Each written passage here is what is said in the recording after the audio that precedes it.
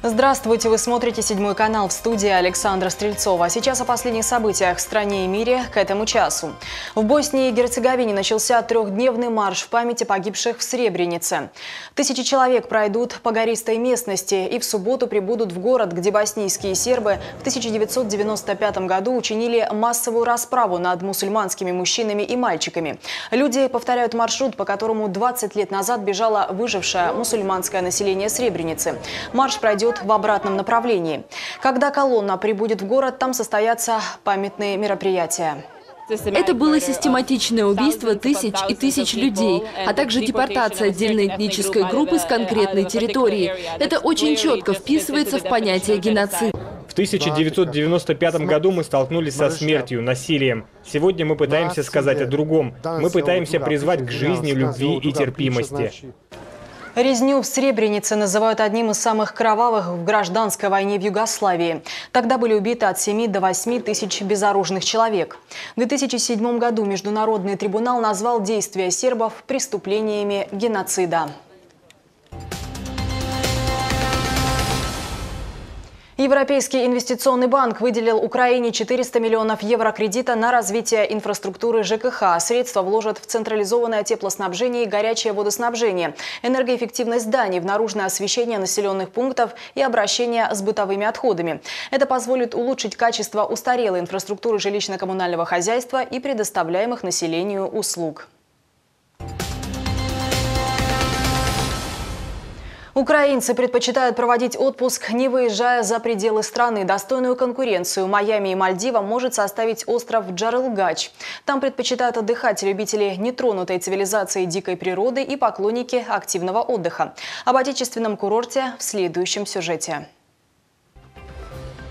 Остров Джарылгач – это 42 километра нетронутой природы. С одной стороны теплый залив, с другой – чистое море. 40 минут на катере, и вы за границей цивилизации. Елена Повжик, ведущий специалист по рекреации национального парка Джарылгачский, Говорит, тут нельзя ничего строить, даже навеси от сонця, і тим более запрещено мусорить. Тут працює кожного дня служба державної охорони і підтримує стан острова саме в тому стані, в якому він є. Тобто це стан незайманої дикої природи. Саме цим цей острів і цінний. Единственные строения на острове – два маяка. Визитная карточка Джерелгача – старейший из них. Маяку больше ста лет. Его заказывал пан Скадовский в Париже, а разрабатывал его сам Эйфель с учениками. Это было в конце 18 столетия. Коли встановлювався цей маяк, до води ще було майже 200 метрів. От уявіть собі, скільки Берега з'їло море за ці роки. В национальном парке туристам предлагают два маршрута – сафари Джерелгач с ночевкой, рыбной ловлей и наблюдением за редкими животными, а также маяки Джерелгача без ночевки, просто искупаться. Вообще прекрасно там, где человек еще все не успел испортить. Спасибо тем, кто это сохранил. А впечатление, конечно, потрясающее. Я говорю, вот, ну, Майами. Можно гулять по острову пешком или пользоваться транспортом. Можно отдыхать в собственной палатке или арендовать домик лесника. Остров встретит туриста с любыми предпочтениями. Питомцы Тбилисского зоопарка переживают стресс. Звериница в июне пострадала от сильнейшего наводнения. Из 600 животных выжили только 300. Им нужны уход и новые вольеры. Сейчас зоопарк живет надеждами на восстановление. Об этом смотрите далее в выпуске. Бегемот Бего из Тбилисского зоопарка стал символом выживания. Он – одно из немногих животных, спасшихся во время наводнения. Стихийное бедствие обрушилось на столицу Грузии в середине июня. Вода повредила вольер Бего, и он, выбравшийся из смертельной круговерти, оказался на городских улицах. Позже его вернули в зоопарк.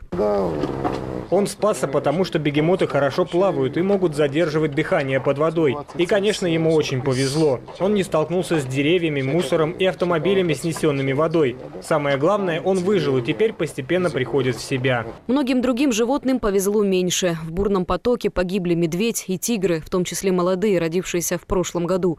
Из 17 пингвинов выжили только 10. Теперь они панически боятся воды и постоянно пытаются спрятаться. У нас остались только 10 пингвинов, переживших бедствие. Лишь немногие могут есть самостоятельно и ведут себя так же, как до наводнения. Но другим труднее. Стресс берет свое. Среди спасшихся была беременная самка оленя. В конце июня она благополучно родила свою малышку. По словам сотрудников зоопарка, маленькая самочка стала для них символом надежды на восстановление. Из-за стихийного бедствия из 600 животных погибли более 300. Нескольких сбежавших тигров и львов ради безопасности горожан застрелили спецназовцы уже после наводнения. Нанесен ущерб в несколько миллионов долларов, повреждены вольеры. Это материальная сторона. Но если говорить о животных, то здесь иные мерки. Урон огромен, и его невозможно выразить в цифрах. К сожалению, мы потеряли слишком много ценных животных. Выжившие звери теперь остро нуждаются в новых вольерах. Директор зоопарка надеется, что в ближайшее время им выделят новое помещение на окраине Тбилиси. Канадец предстанет перед судом за полет на воздушных шариках. Даниэля Баря обвиняют в совершении действий, опасных для жизни. 26-летний бизнесмен привязал к садовому стулу 110 шариков, наполненных гелием. Взял с собой кислородный баллон и парашют и поднялся в воздух. Баря планировал пролететь на шарах над территорией, где проходит ежегодный фестиваль «Родео». На него съезжаются более миллиона человек. Там молодой предприниматель должен был прыгнуть со стула с парашютом и тем самым привлечь внимание к чистящим средствам, которыми торгуют.